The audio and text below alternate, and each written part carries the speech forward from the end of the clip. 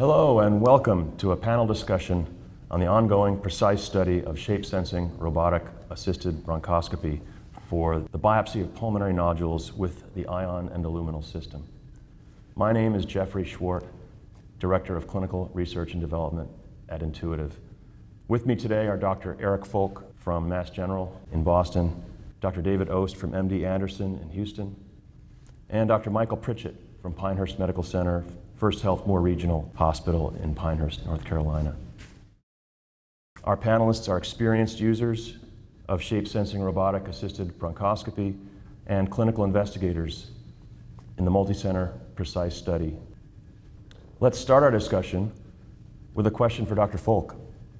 Can you describe important aspects of the precise study design? Thank you, Jeffrey, for having me. The precise study is a single arm prospective multi-center study with this shape sensing technology. The participants are experienced bronchoscopists with years uh, of, of prior bronchoscopic experience. However, the study was started immediately after FDA granted uh, 510K clearance. And these 11 were exposed cases before they proceeded uh, with the cases that we will be discussing um, in uh, today's abstract.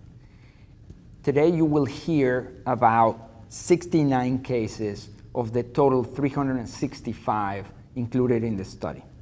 The 69 cases are those that we have complete data. I have to say that the 11 included in the study come from both the academic and the community setting in small nodules between 10 and 30 millimeters. Thank you, Dr. Folch. Let's follow that with a question for Dr. Ost. As first author of the 2021 CHEST abstract with preliminary early performance precise study data, can you walk us through key findings from the cohort of subjects reported in that paper? Uh, certainly, Jeffrey, and uh, thank you for the invitation. So, as Eric was saying, these are preliminary findings, and out of the largest study, there were 69 patients. These patients were followed, and ultimately, 51 of these 69 patients proved to have cancer. As practicing pulmonologists, what we really care about here is were we able to detect cancer in these 51 patients who ultimately proved to have cancer? So what we care about is sensitivity. The shape sensing robotic bronchoscopy system identified out of these 51 cancer patients, 43 of them with cancer on biopsy.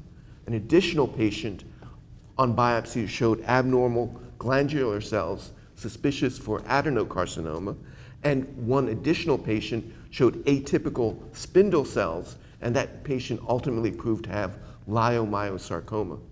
So if we take the 43 out of 51 patients who had definitive positive answers, that's a sensitivity of 84% uh, in those patients. Now, these are small nodules. As Eric said, these are 10 to 30 millimeters. Indeed, 38 of the 51 patients who had cancer, the nodules were less than or equal to two centimeters.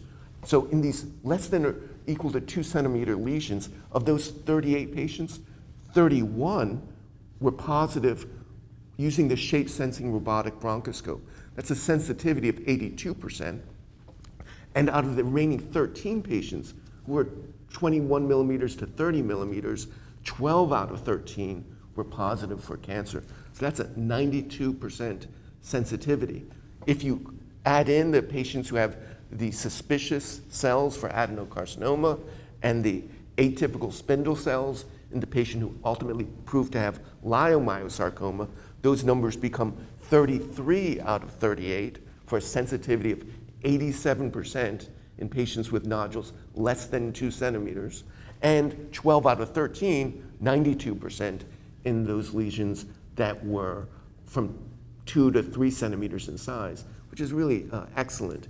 There was only one asymptomatic pneumothorax in this small subset, so safety, at least preliminary data, is very, very promising. So, Mike, let me expand this. You were the first user, and you're an active bronchoscopist with a big practice in the field. You were the first to use this technology. How has this technology advanced your practice or changed your approach to small peripheral pulmonary nodules? Yeah, uh, that's a good question, and I'm happy to share our experience that we've had thus far.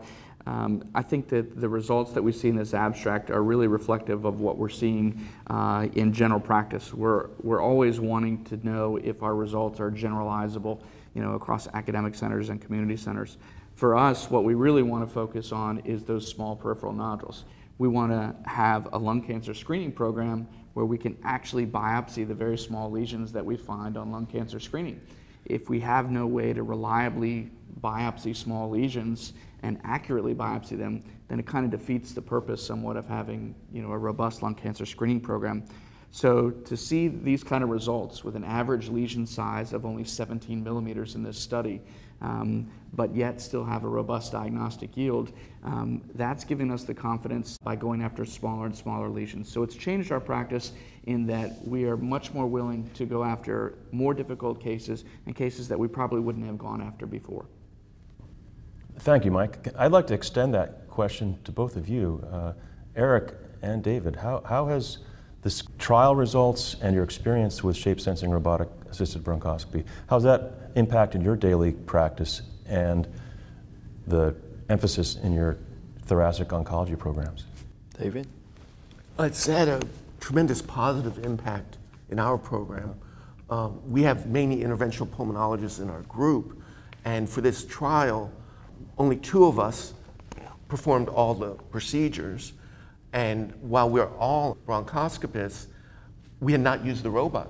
This was the first in the United States trial and did not have a lot of experience with the robot going in, but it was fairly easy to pick up. And since the trial, the other interventional pulmonologists have started using it, and they've had the same positive experience. So very well accepted by my colleagues, which speaks to it uh, the ease of use, and when combined with other technologies, it's really helped transform it and really move towards our goal of high value care.